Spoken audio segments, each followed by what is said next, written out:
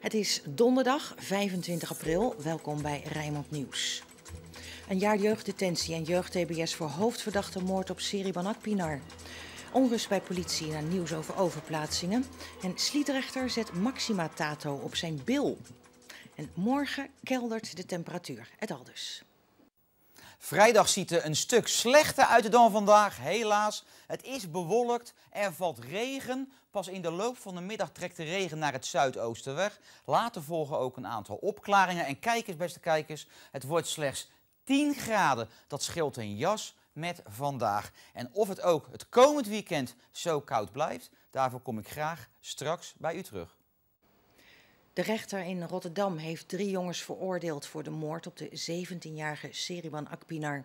De hoogste straf was één jaar jeugddetentie en jeugd-TBS. En dat is ook de maximumstraf voor een minderjarige. Het meisje werd in augustus van het vorig jaar dood aangetroffen in de bosjes langs de Horvatweg, vlakbij het Sparta-stadion. Ze was om het leven gebracht met 24 messteken.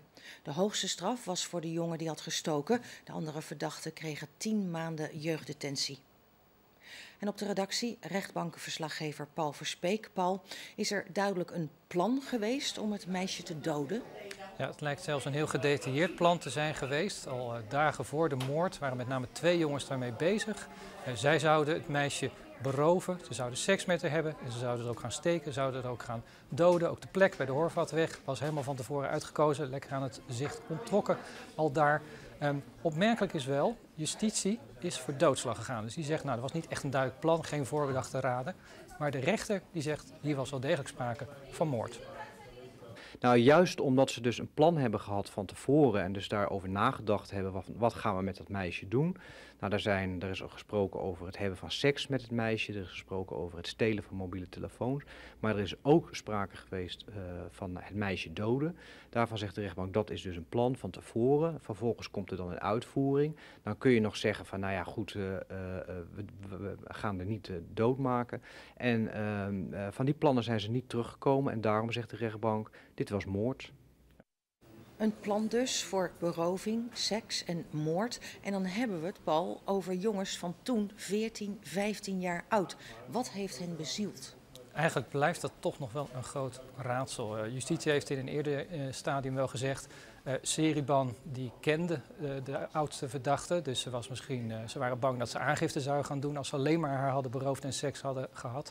Dat zou een motief kunnen zijn geweest. Maar ja, je verwacht misschien 14, 15 jaar als je met dit soort dingen bezig bent, dat het gaat om jongen met grote problemen, met een strafblad. Ja, niks van het alles. De rechter zei dat ook vandaag. Het is eigenlijk onbegrijpelijk dat deze jongens die tot dusver een zo probleemloos leven hebben gehad, dat die tot zoiets gruwelijks in staat zijn geweest. We weten wel dat ze ja, wat respectloos gedrag, een van de verdachte heeft bijvoorbeeld over Seriebar gezegd, ach die meid was niks waard. Het was eigenlijk al een hoer. Daar kun je wel iets uit opmaken voor zo'n leeftijd als je dat soort uitingen doet.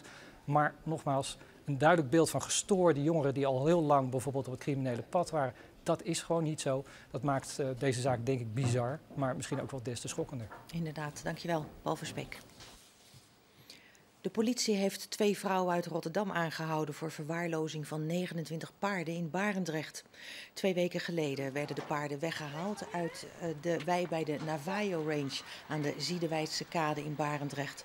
Na onderzoek door de politie bleek dat de dieren sterk ondervoed zijn en nog andere medische problemen hebben. De politie besloot tot aanhouding van de vrouwen over te gaan omdat ze meer vragen hebben over de verwaarlozing van de dieren. En straks een bijzonder portret op een bijzondere plek. Ik ga op een, op een kleedje zitten en dan mogen ze naar mijn kont komen kijken voor de knak. Kunnen ze kijken. Grote onrust bij de politie-eenheid Rotterdam over het nieuwe huisvestingsplan van minister Opstelten van Veiligheid en Justitie. Opstelten wil 230 miljoen euro bezuinigen door de ondersteunende diensten, en dan kunnen we denken aan personeelszaken, communicatie of financiën, efficiënter te organiseren. Voor veel politiemedewerkers betekent dat dat ze in Zwolle of Eindhoven moeten gaan werken. Opstelten wil drie politiedienstencentra maken voor die ondersteunende diensten. In Zwolle, Eindhoven en Rotterdam. In Rotterdam komen volgens de nu bekendgemaakte plannen onder meer de afdelingen financiën en communicatie.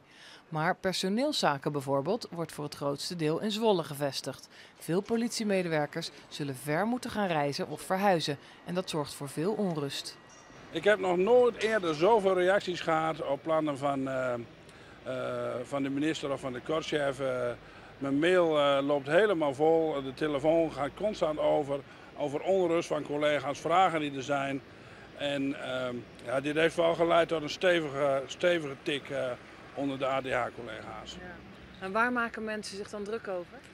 Ja, mensen maken zich druk over als het werk wat ze nu met heel veel plezier doen, als ze dat nog wel kunnen blijven uitvoeren. Plus uh, dat mensen zich zorgen maken als zij wel voldoende tijd aan hun gezinnen kunnen besteden, omdat er mogelijk zoveel reistijd achterweg komt. De bonden hebben met de minister afgesproken, conform een eerdere uitspraak van de rechter, dat mensen maximaal anderhalf uur reistijd mogen hebben. Maar voor veel medewerkers is in totaal drie uur reizen bovenop de werktijd onacceptabel. En velen zullen boven die anderhalf uur uitkomen. En dat is ook uh, wat er nu uh, voor zorgt dat er zoveel mensen plaatsingskandidaat worden. En die mensen worden niet ontslagen, want daar hebben we met elkaar afgesproken. Die mensen hebben ook wel een loongarantie. Maar die zijn niet meer zeker van het werk wat ze nu uh, met veel plezier doen. De minister heeft de Centrale Ondernemingsraad niet bij de plannen betrokken. Dat is niet echt zoals het hoort te gaan. Nou ja, als dit de opmaat is voor hoe wij de reorganisatie gaan uitvoeren, dan belooft dat niet veel goeds. Van de meeste mensen mogen we altijd alles filmen, maar liever niet de bips. En dan nog met kleren aan. Bij Danny uit Sliedrecht is het vandaag net andersom. Van hem zijn, we, zijn namelijk de blote billen te zien, want daar komt vandaag een bijzonder portret op te staan. Ik maak hier een man van en dat plakken we op zijn uh, onderrug om te kijken hoe het staat. En dan gaan we kijken of hij het ermee eens is. Vind je het leuk om te doen? Hartstikke leuk. Heel bijzonder. Ik heb nog nooit zoiets gezegd. Wel portretten, maar niemand van de, van de koninklijke familie of zo. Dus ik ben zo eigenlijk ook wel benieuwd. Ik had niet gedacht toen ik vanochtend wakker werd dat ik bij een man op zijn billen zou klappen. Waarom Willem-Alexander en Maxima op je bil? Ja, het gebeurt maar één keer in de zoveel tijd toch dat je een nieuwe koning krijgt. Ik bedoel, eh, het is toch mooi om dat op je lichaam te hebben. Feit krijg ik er nooit van mijn vrouw, echt niet. Net wat ik zeg, je leeft maar één keer toch. En uh, dus een keer een beetje het versieren van je huid moet ook kunnen toch. Ga je nou op Koninginnedag ook met de billen bloot lopen? Ik ga op een, eh, op een eh, kleedje zitten en dan mogen ze naar mijn kont komen kijken voor de knaak. Kunnen ze kijken. Nou, en wie het eindresultaat wil zien, vanavond staat dat op onze website rijnmond.nl. We waren erbij toen het lijnenportret van Beatrix en Willem-Alexander op het 151 meter hoge gebouw van Nationale Nederlanden in Rotterdam werd geplakt. Maar voor ontwerper Thijs Kelder was de klus hiermee nog niet geklaard. Sinds gisteravond is zijn werk dag en nacht te bewonderen. De skyline van Rotterdam. Eigenlijk al een kunstwerk op zich. Duizenden lichtjes om je heen. En sinds gisteravond ook wat oranje lichtjes.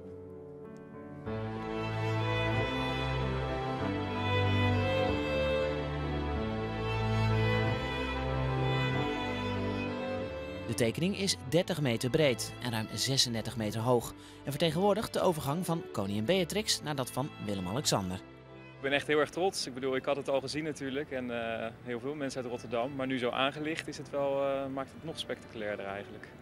Ja. Het is niet alleen een lampje erop, het beweegt ook allemaal. Nee, het is niet een simpel lampje, maar het is echt een, uh, ja, ze noemen het eigenlijk videomapping. Dus het is echt met een, met een aantal beamers is het aangelicht. En uh, ja, daar binnen zijn ook weer uh, animaties gemaakt. Eerst wordt bijvoorbeeld Beatrix ingekleurd, heel langzaam, met een lijn. daarna komt Willem-Alexander erbij, zoals een echte koning erbij komt. En daarna wordt eigenlijk Beatrix een soort van uitgegumd.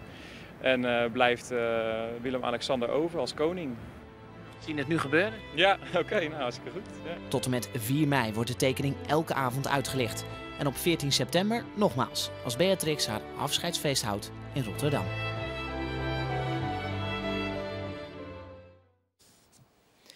Bekend was dat de Breepleinkerk in Rotterdam tijdens de Tweede Wereldoorlog zes Joden heeft laten onderduiken. Vier van hen zaten verstopt in een kleine ruimte achter het orgel. Waar de andere twee onderduikers zaten was eigenlijk niet bekend.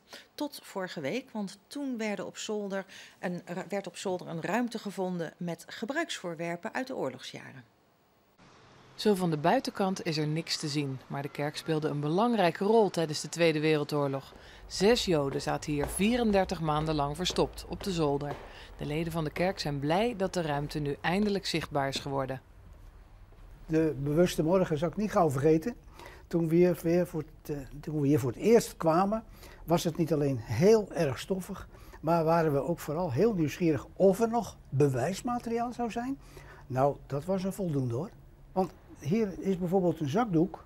Nou, die blijft nog heel, maar we hebben ook wel kledingstukken gevonden die je nauwelijks durft op te tillen, want dan vallen ze uit elkaar. Ze liggen hier 70 jaar en dan onder stof in een niet geïsoleerde ruimte. Henk den Haan is verrast over de staat van de spullen. Vooral van de stropdassen is hij erg onder de indruk. Moet je je voorstellen, mensen die nooit buiten komen, laat staan visite gaan, die vinden het belangrijk blijkbaar om naar hun onderduikruimte inpakken, wat nemen we mee? Twee stropdassen mee te nemen. Nou, dan hebben ze hem vast ook aangehad. Juni 1942. De deportatie van Joden is in volle gang. Ook de familie Kool krijgt de oproep zich te melden, maar zij besluit onder te duiken. Koster Jacobus de Mars geeft de vier onderdak in zijn kerk achter het orgel. Een jaar later klopt echtpaar de Zoete aan bij de koster. Zij nemen hun intrek in de tweede ruimte. Tijdens de kerkdiensten was er meestal, bijvoorbeeld bij het zingen, zoveel volume dat ze wel even wat lawaai konden maken. Dus dan gingen ze wel het trapje af. En Rebecca, die aan de andere kant zat, die vertelde wel dat ze dan bijvoorbeeld door hele kleine gaatjes de kerken konden gluren. Ja, hadden ze weer wat te doen. Toch is de onderduikplaats gevaarlijker dan gedacht. Drie weken voor de bevrijding wordt er een inval gedaan door de Duitsers. Op die bewuste zaterdagmiddag was Fifi de Zoete hier gaan slapen en Chaim was beneden gaan lezen. Maar die hoorde lawaai, die kon net op tijd hierboven komen, het laddertje ophalen, het luik dicht doen. Omdat die Duitsers zo'n herrie maakten, kon dat allemaal nog gebeuren. Alleen hij had geweldig geluk, want hij heeft zelf later verteld dat hier op dat randje, daar lag een lepel. En dat ontdekte hij pas toen de Duitsers weg waren. Voor hetzelfde geld had hij kunnen vallen, waren ze verraden geweest. De koster wordt meegenomen voor verhoor, maar wordt later weer vrijgelaten. Ook de Joodse gezinnen overleven de oorlog. Henk den Haan vindt het heel belangrijk dat dit verhaal niet vergeten wordt. Dit zou eigenlijk ook toegankelijk moeten worden voor schoolklassen. Zoals we die andere kant ook eh, toegankelijk hebben gemaakt. Maar ja, dan zijn er wel voorzieningen nodig. Want ja, niet alleen kun je alleen maar met één persoon tegelijk kijken. Maar dit moet wel blijven voor het nageslacht. Dit is een oorlogsmonument. Dit is het achterhuis van Rotterdam. En de gevonden spullen worden na 5 mei tentoongesteld in het Oorlogsverzetsmuseum in Rotterdam.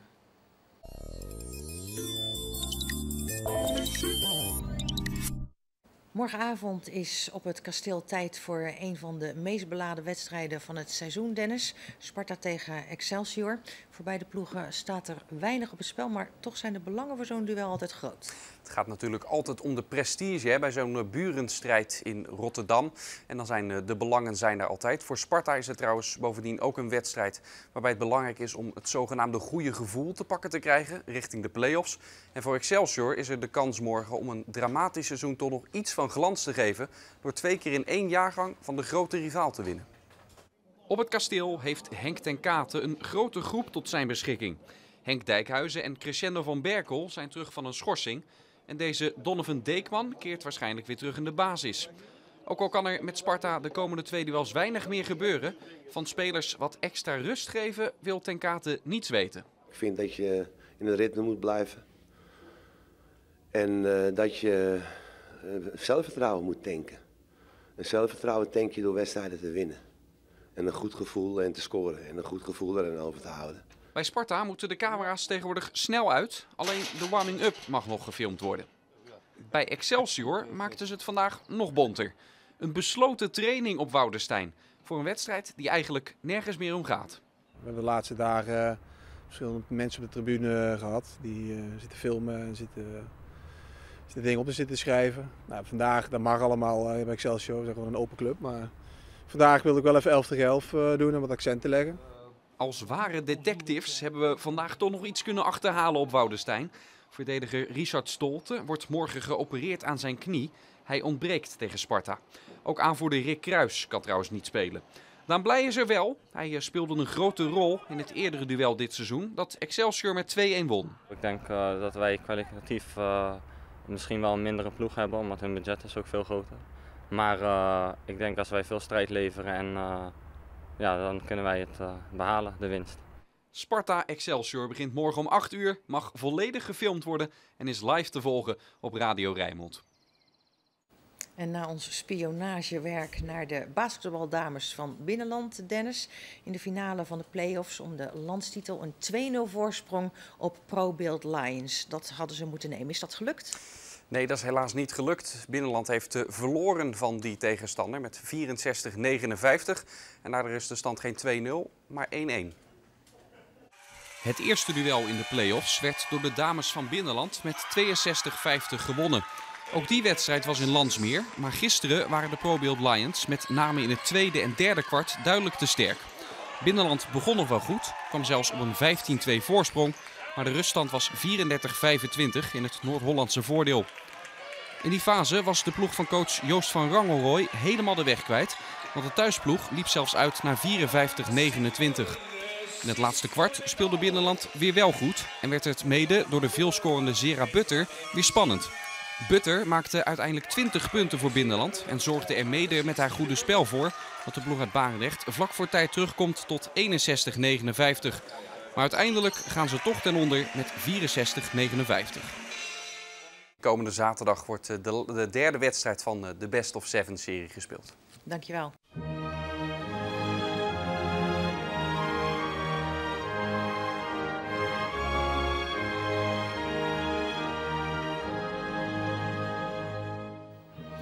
Nog vijf dagen en dan is Willem-Alexander onze nieuwe koning. Mocht hij nog een aantal tips kunnen gebruiken, Rijnmonders geven ze gratis weg vanuit onze opblaasbare troon. Ook als hij twijfelt of hij het koningschap wel moet aanvaarden. Deze wijze raad komt vandaag vanaf het strand van Hoek van Holland. Het Koningshuis. Het Koningshuis mag van mij opgedoekt worden. Dat kost veel te veel. Hippie hoera! Aanstaande kroning in Amsterdam. Dat kost dik 5 miljoen. Dat is onnodig. er zijn zoveel mensen die het arm hebben in Nederland. Daar is het voor bestemd en niet voor het Koningshuis. Ik vind uh, Koninginnedag zo'n mooie traditie. En wat er ook gebeurt op 30 april. De plezier wat de mensen eraan beleven. Geweldig. Ze hoeven geen belasting te betalen. Daar ben ik ook fel op tegen. Goed? Oké. Nou, zo kan ik wel een poosje doorgaan, maar ik ben uitzag. Kom. Waar moet hij heen? Naar Engeland? Ga je dat allemaal filmen ook?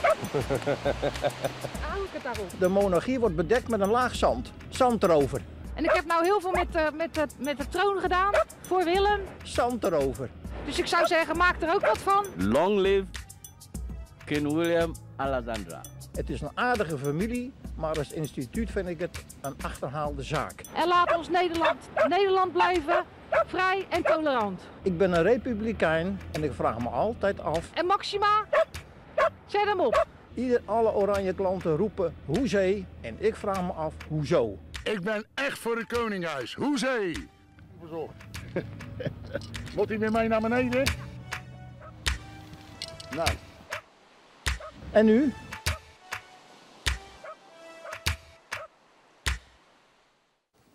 En dat was het weer voor vandaag. Meer nieuws vindt u op onze site rijnmond.nl.